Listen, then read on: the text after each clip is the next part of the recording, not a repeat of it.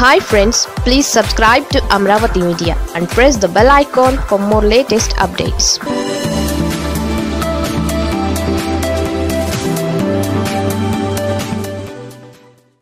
కదిలిన పాదం సీఎం పీఠానికి చేరింది.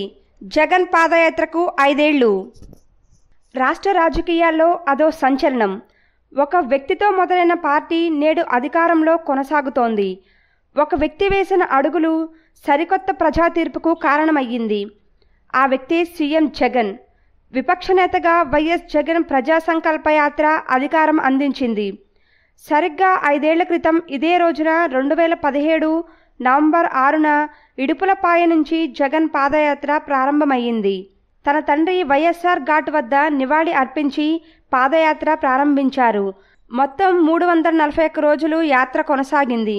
పదమూడు జిల్లాల్లోనూ యాత్ర నిర్వహించారు. రెండు కోట్ల మంది ప్రజలతో మమేకం అయ్యారు.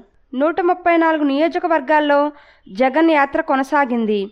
రెండు వందల ముప్పై ఒకటి మండలాలు రెండు వేల ఐదు వందల పదహారు గ్రామాల మీదుగా జగన్ ప్రజలను కలుస్తూ తన యాత్ర నిర్వహించారు. యాభై నాలుగు మున్సిపాలిటీల్లో ప్రజలతో మమేకం అయ్యారు. ఎనిమిది కార్పొరేషన్లోనూ జగన్ ప్రజా సంకల్ప యాత్ర కొనసాగింది. జగన్ మొత్తంగా మూడు వేల ఆరు వందల నలభై ఎనిమిది కిలోమీటర్ల పాదయాత్రలో నూట ఇరవై నాలుగు సభలు సమావేశాలు నిర్వహించారు.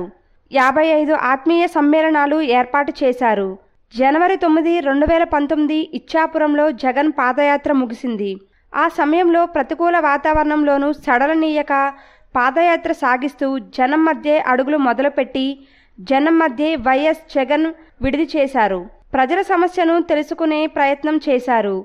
వారి సమస్యను తాను అధికారంలోకి వస్తే పరిష్కారం చూపిస్తామని హామీ ఇచ్చారు. తన ప్రజా సంకల్ప యాత్ర సమయంలో నవరత్నాలను ప్రకటించారు. తన మేనిఫెస్టీ ఏంటో వెల్లడించారు. సచివాలయ వ్యవస్థ గురించి వివరించారు.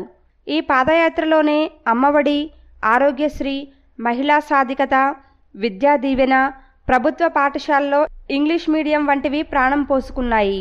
తను అధికారంలోకి వస్తే సామాజిక న్యాయం అన్ని సామాజిక వర్గాలకు ప్రాధాన్యత గురించి వివరించారు. ఆ పాదయాత్ర పూర్తయిన వెంటనే అభ్యర్థులను ఎంపిక చేశారు. ఒకేసారి లోక్సభ అసెంబ్లీ అభ్యర్థులను ఇడుపులపాయ వేదికగా ప్రకటించారు. నాటి పాదయాత్రలో జగన్ ఇచ్చిన హామీలను మాటలను ఏపీ ప్రజలు విశ్వసించారు. ఊహించని విధంగా రెండు వేల పంతొమ్మిది ఎన్నికల్లో నూట యాభై ఒక్క సీట్లు కట్టబెట్టి సీఎంని చేశారు.